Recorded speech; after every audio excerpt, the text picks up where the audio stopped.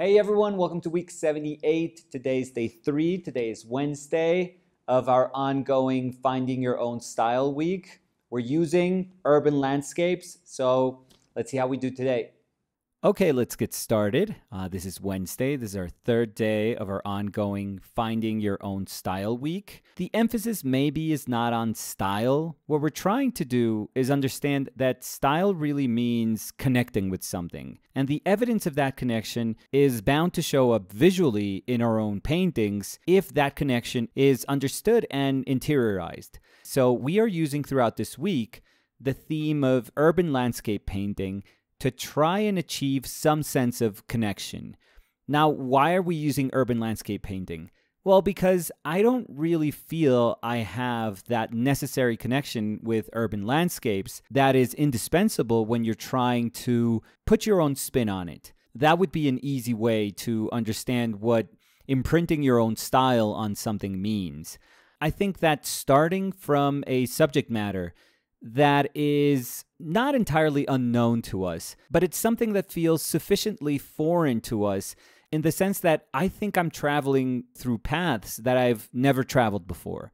And that can be horrifying, but that can also be super, super exciting. Because I think that when we start with a blank slate, we have nothing to lose. We're not fighting against ourselves. Many times we are our worst enemies simply because there's nothing to fight against. We don't have any preconceived notions. We don't have any preset conditions that we have convinced ourselves that we should follow when we are painting urban landscapes.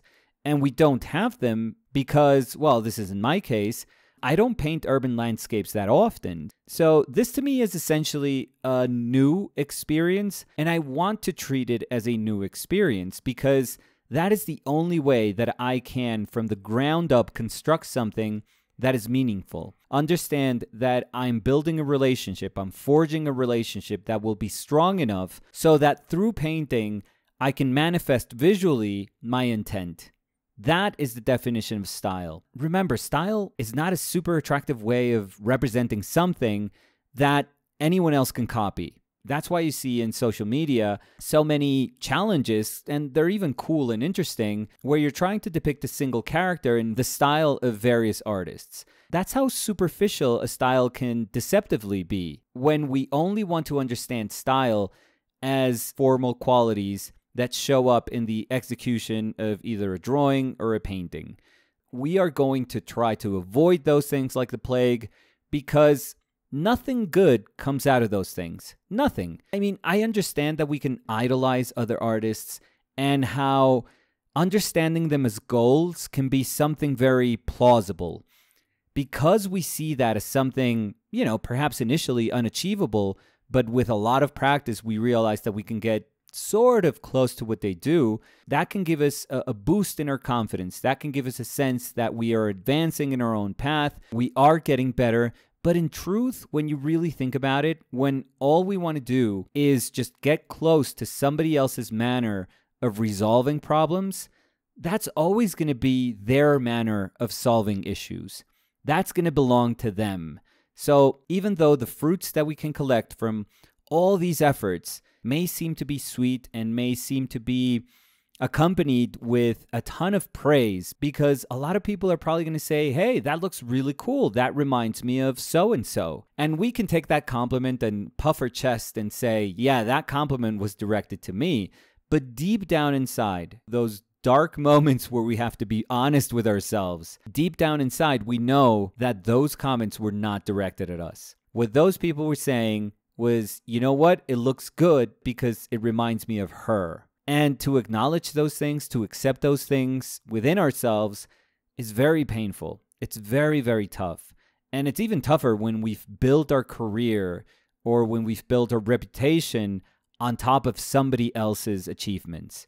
That is something that we should try to avoid and I know, I know that the rewards seem so attractive and they are so close. You know, they're so close that you can grab them. But we have to understand that those rewards are there because somebody else worked really, really hard. They deserve that respect. They deserve that celebration, but not us. We should feel happy for them. We should feel emboldened by their efforts. But what we have to do is feel responsible for crafting our own path. And maybe you don't glide through that path. Maybe you're just sludging through it. And maybe every single step you take requires an enormous amount of effort. Honestly, that's kind of cool because those are your efforts. That's the energy you are investing in your own growth. So, the reason that we sort of shifted our gaze and said, we're going to try this thing, we're going to do urban landscapes, is because I feel terribly insecure about them. I know that I can make a painting of an urban landscape. I know that. I have to believe that because I love painting and because I have such a deep connection with painting, I'm going to be capable of painting whatever subject matter you put in front of me. I don't think that's the issue. And I'm not saying this because, oh my God, I'm so good at painting. No, no, no. If you get proficient at painting, if you're decent enough at painting, you know, you could pretty much paint anything. If they put something in front of you, it's always going to be tough or it's always going to be easy. It doesn't matter. But if you have it in front of you and you're disciplined, you're going to be able to paint it. But here's the thing painting it is not the issue. The issue is connecting with it and trying to say something through it, even if it's something incredibly simple. It doesn't have to be complicated. And that's what I've told myself during these past two couple of days. I thought I was going to be able to handle super complex things through urban landscape painting, but the reality is I can't do it. I feel like these are my first steps. I feel these are like baby steps. And it's going to take a lot more paintings for me to feel like I can say something through it, like I can manifest myself through it. Do I feel like I can do cool paintings? Yeah, sure. I have to believe that. I have to believe that at some point I am going to push as a painter and I'm going to try to make the best paintings that I know how to do. But that extra mile, that bit of effort that is required for you to really deeply connect with something and for that to be manifest so that observers can read that message with clarity, oh, there's a journey in front of me. I'm the first one to say that this is not easy. This is never going to be easy. It's not supposed to feel easy. So I've tried to lower my defenses. I've tried to lower my ego and just say, you know, take it one step at a time, even though I feel like I, I'm not making things super easy for myself. I think that a lot of the things that I'm doing would be a lot simpler if I just was disciplined enough with my underdrawing. If I had a very basic, very fundamental underdrawing where I can figure out my perspective, where I can figure out my proportions, I am pretty sure that this series of paintings would benefit from that. But because I'm an idiot and I always try to make things difficult for myself, what I've been noticing is that the natural way I feel I should combat this disconnect that I have with perspective is by being bold, by really trying to see myself as a painter, because I do have a ton of experience as a painter.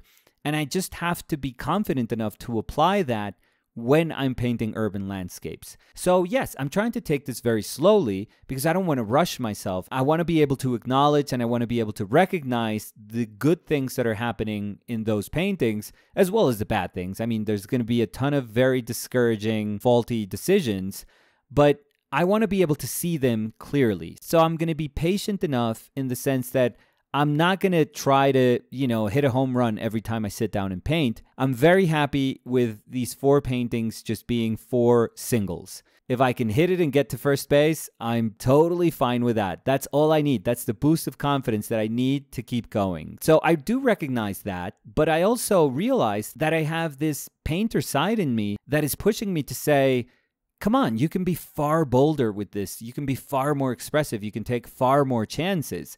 And this is like a risk reward thing because I do want to be diligent with the decisions I make, but I also want to be bold and take chances. So it's a very nice push and pull. That's why for Mondays and Tuesdays painting, I had a sense of an underdrawing. It's never going to be a super crisp, resolved drawing underneath my painting. I have told you guys before that honestly, when I do my underdrawings, I think I use drawing just to get a sense of what I want to do just to familiarize myself with what is going on and to just prep myself up. After I finish that little squiggle of a drawing, I want to feel like, okay, I have some sense of footing and I have acquired an idea of what this road is going to look like. And then I can start painting. That's why many times people ask me, "Oh my god, you spend time with your drawing, with your underdrawing, and then you covered it all up. You know, what was the point in that?" And I guess the point is what I just explained. Through drawing, I just want to warm up to the painting. Drawing will give me courage. Drawing will give me confidence. So with paintings that I don't feel I have a sense of clarity, as is the case with these daily paintings during this week, I feel that doing an underdrawing is my safety net. For today's painting, I found a reason not to do an underdrawing because I realized I want to paint atmosphere. I mean, here I am thinking that urban landscape is all about tangents and it's all about vanishing points, and all these lines have to make sense. It's a very rigid framework that I've ignorantly imposed on the way I understand urban landscapes. That's the truth. I mean, that's totally on me, 100% on me. I think I'm denying myself a ton of possibilities when I do those things, when that is my mindset, even before I lay my first brushstroke down.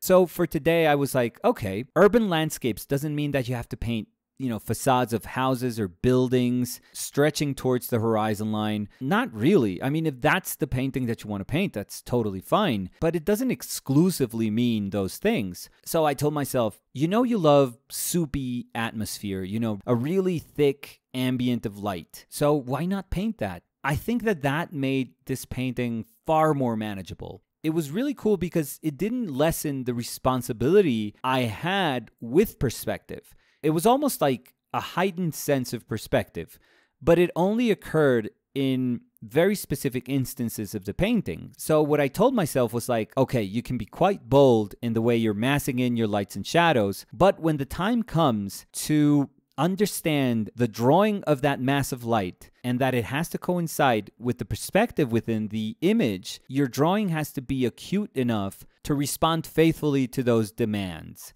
even right now, when I hear myself saying those things, like I get super scared. I get super insecure because those decisions have to bear a lot of weight. They are going to be the decisions that carry the painting. So I can totally understand why we shy away from those decisions. But I told myself, come on, if you're going to paint something you love, like this very thick sense of atmosphere, the requirement is simple in a way. You just have to be mindful in very small instances about the angles of those shapes and double check them if you have to and correct them as you paint if you have to. Just be constantly aware that the painting needs that of you. And I think that that's super cool. I mean, nothing really has changed from the beginning of the week. I'm still absolutely horrified when painting urban landscapes. I can't hide it, and I think my paintings can't really hide it either. So I'm not going to try to make paintings that desperately try to cover that fact. No, I'm totally fine with, in many ways, exposing myself because feeling okay with that is part of painting. I have learned this with age, I guess, but it's okay to say, I don't know. It's okay to say, wow, that's tough. It's okay to say, you know, I gave it my best today, but things didn't really gel. They didn't work out as I thought they would it's okay. It's not really a loss. I mean, I was going to say it's okay to take the loss, but honestly, I, I just never see it as a loss. I just always feel like these are experiences, and our whole life is built upon these experiences. So they are inherently valuable. So for today, I unfortunately can't say that I wasn't struggling as much as the first two days, but I realized that I can inject the painting with a lot of the things that I love. And I can speak about those things that I love through urban landscape painting because the things that I love, you know, when I say heavy atmosphere, that doesn't mean heavy atmosphere only in interiors and only affecting figures. No, heavy atmosphere is everywhere, it's anywhere. So it obviously means that I can paint that through urban landscapes. And it was very nice. I mean, if I have to look back on these past couple of days, you know, on Monday, I realized that I could understand urban landscape as an opportunity to just do a very abstract exercise in color. It was all about contrast by complementaries, kind of. There was a big mass of yellow orange that was my light, and it was against this kind of cutout, very transparent, very rich blue that was the sky. So I was able to view urban landscape through an abstract sense of color. On Tuesday, it was a matter of finding another type of contrast, which was temperature, and I just painted this tiny sort of dissipating moment of warmth surrounded by this kind of neutral coolness. And that was it. It was a very simple painting where I wanted that little bit of light to be hierarchical in my painting. And for today, like I said, it was just about atmosphere. It was about the mystery that's inherent when you hint at something. I'm realizing that I can find excuses to paint urban landscapes because those excuses become very interesting things to me that I can say through urban landscapes. I'm understanding that this week is not really about becoming incredibly proficient at doing detailed layouts of urban scenery. No, it's about how I can understand my painting through urban landscapes. That makes it far more interesting and far less threatening than the way I initially thought I had to confront this week. Today was very comforting, I feel. It was very nice, and I'm very happy with how the painting turned out. That's going to be it for today. Uh, join us tomorrow for a final day where we're going to try to, I'm going to say finish strong, but what I feel is going to happen is that I think I understand that I can paint now. this, this feels ridiculous, but I think that that's going to happen tomorrow. I don't know if it's going to make for a better painting. It doesn't matter. What matters is that we teach ourselves not to be afraid of these things because honestly, it doesn't make sense. And if we're going to take steps in trying to make a connection, the first thing we have to do is to not fear them. So hopefully tomorrow, I'm just going to take advantage of the courage that I have collected through the honest investment that I have put into these past uh, three paintings. But that's going to be tomorrow. So thank you guys for watching. I'll see you guys tomorrow. Bye.